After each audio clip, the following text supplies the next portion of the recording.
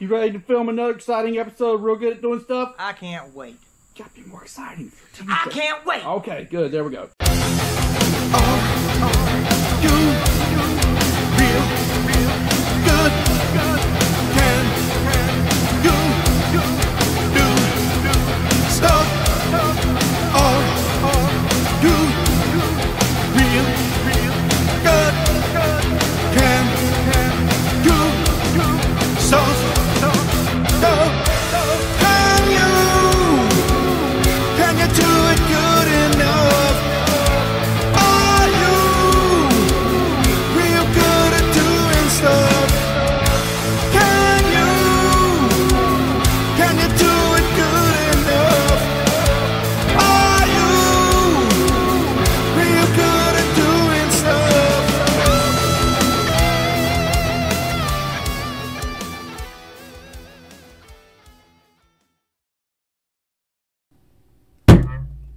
All right.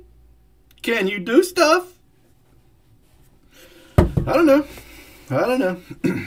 Anyhow, we're back and we're here going to talk more about uh, tuning today and uh, no prep in particular uh, with beer money at Virginia's uh, No Prep Kings event uh, this past weekend. First off, some of you people have not subscribed to my channel yet, and that is not acceptable. So anyhow, it's not real hard. You just click the little thingy down there. Jeez. I don't see what the big deal is. Anyhow. Some of you people trying to just freeloaders, trying to just get something for nothing. It's not how I roll. But anywho, all right. So uh, we won the race this weekend with beer money, and uh, Friday night there was another race. We went to the finals in that, and then that was canceled because of a curfew or something, some kind of lame excuse they came up with.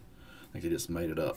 but anyhow, uh, something happened in I think the second round of that race that you might not have been aware of, and that is Beer Money got into a wheelie, but uh, it was completely managed and uh, absorbed in a way where you didn't even see it happen, or you probably didn't even notice it and uh, it was under control. And uh, this video is going to be about how we how that happens and how uh, uh, methods that you can use to control wheelies and keep keep yourself out of trouble.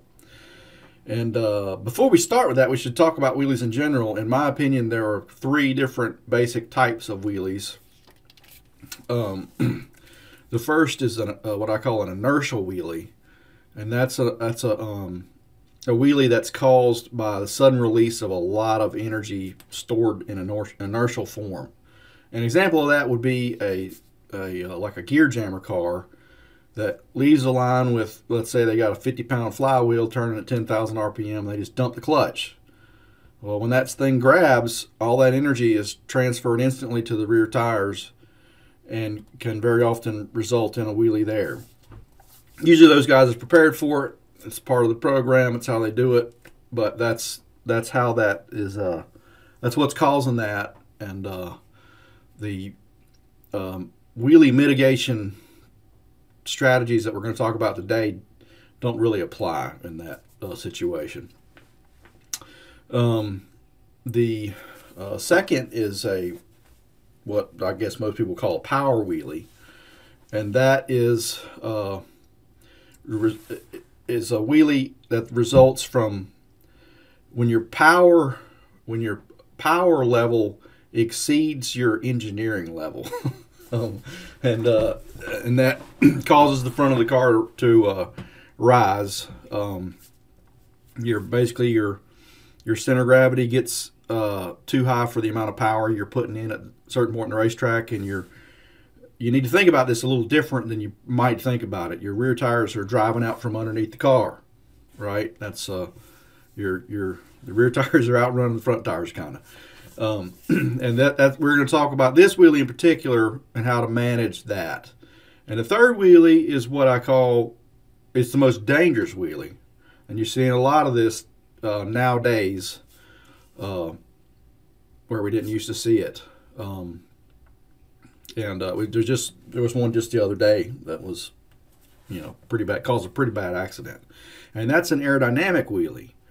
Uh, an aerodynamic wheelie can be the result of it can can, can follow a power wheelie, or it can be caused by itself. Um, it can be uh, self-generating, right? If you have a race car that has aerodynamic problems that will that will that will generate lift in the front of the car at a certain speed, the front of the car is going to come off the ground. Period. That's how it is. Um, and this is how you know you can't drive a Winnebago at 250 mile an hour. I don't know what's going to happen, but it's probably not going to be good. Old uh, AC Cobras. If I'm if my uh, old school car lore is correct, the front of those cars would lift off the ground at about 150 mile an hour, unless they, there's a little uh, body mod that they used to put on those cars that fixed that problem, right? But it was, uh, you know, it's it's not uncommon to have an aerodynamic problem built into it. I've seen some of the earlier big aerodynamic wheelie wrecks from years ago, like at Donald's races uh, were, in my opinion, cars that at one point or another are going to lift off the ground. You know, it's just a matter. If you go fast enough, it's coming up. You know, and we're not talking about fixing those today. Oh, we should talk about it. All these these problems are going to continue to happen until um, racers and chassis engineers and whatnot put methods of relieving air pressure from the under the hood of these cars in the front right? If uh, this is something that's common in all kinds of motorsports, NASCAR does it all the time.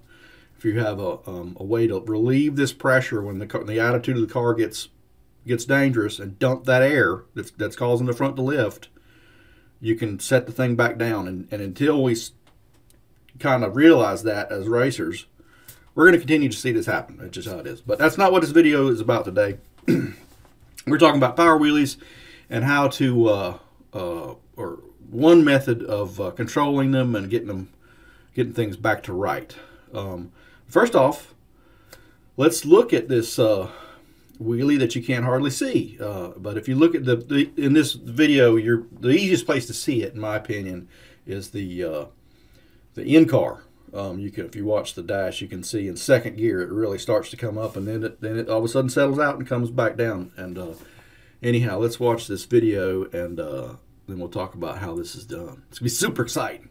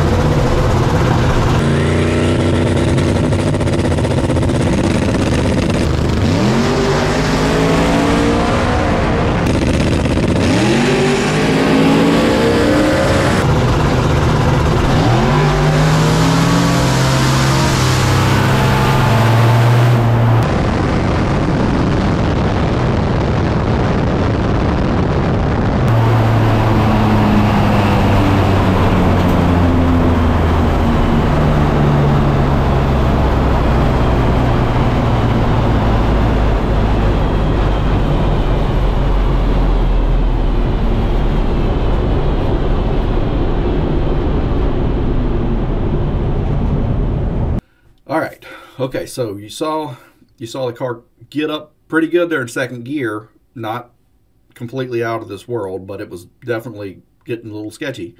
And then it sets back down. All right, well, let's talk about how this is done. Uh, I then, then there's more than one way to skin the cat with this. Um, and my preferred methodology um, is I use a uh, VPS sensor in Holley uh, that gives me pitch data. Right now, if you look at this, uh, uh, uh, this is the data from that pass. The purple line down here is pitch data, right? You can see in low gear, we're getting up there pretty good. 3.3 degrees. And don't pay any attention to these numbers because these numbers are not going to correlate to your race car.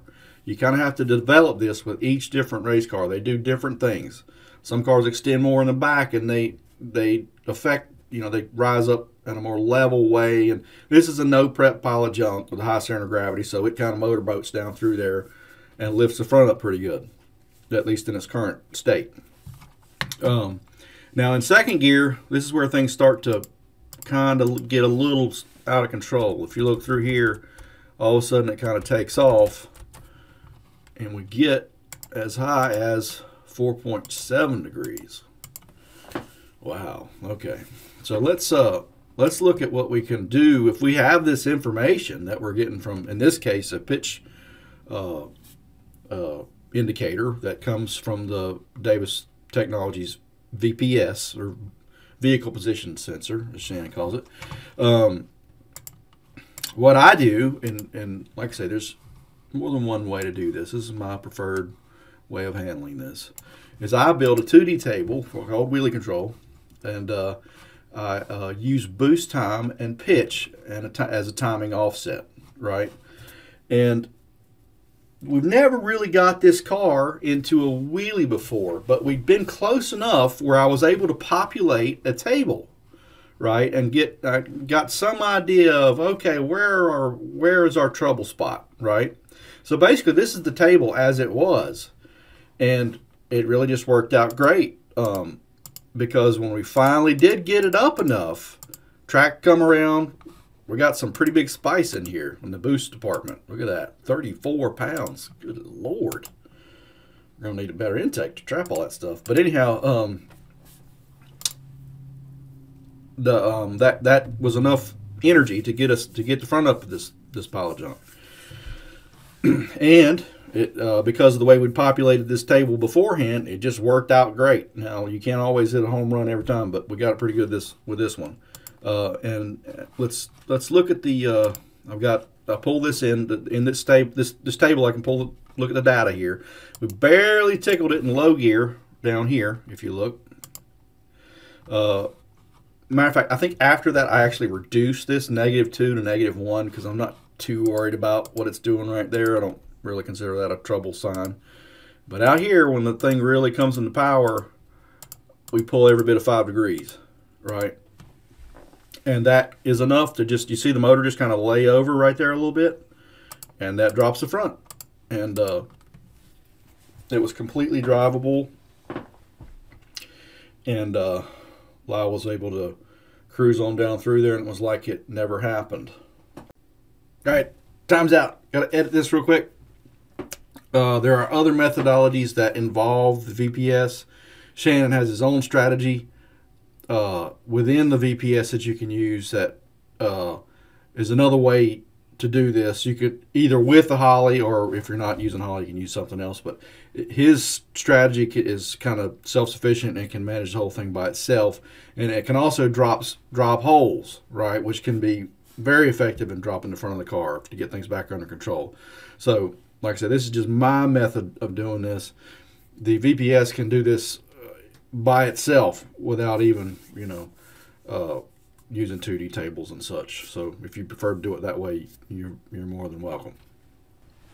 Now, do not assume that because we corrected this and kept it out of a wheelie that we didn't lose ET there. We absolutely did. We still slowed down when you pulled this power out, that's power that's not applied to the racetrack. Um, and it's hurting ET.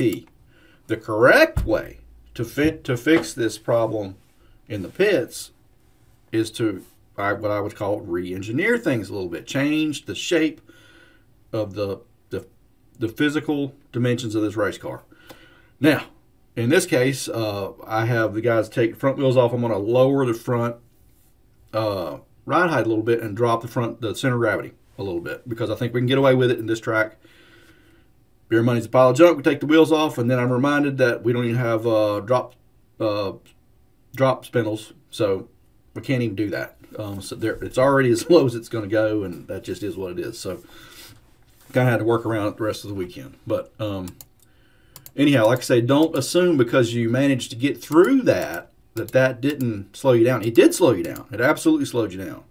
The correct fix to keep your ET uh, and get out of that problem is to make changes to the race car so that you don't have to pull that timing out, right? Whatever that may be. Maybe it's an aero change. Maybe it's a center of gravity change, a suspension limiter change, a shock change, any of these things, uh, whatever, uh, to control uh, this situation. Obviously, with beer money, we're kind of limited on our options, but managed to change a thing or two, and then uh, we didn't have the problem the rest of the pass. But anyhow, that's enough for today. And uh, I'm going to try to get a video up of the, the actual race the next day in the next few days. It's a bunch of work doing all this crap, and I just do it in my spare time in the evenings or whatever. But anyhow, maybe you learned something. Maybe you didn't. Maybe you think I'm an idiot. Either ways, you should subscribe to my channel so I can make millions of dollars and then, I don't know, do something else. Whatever. That's enough for today. Bye.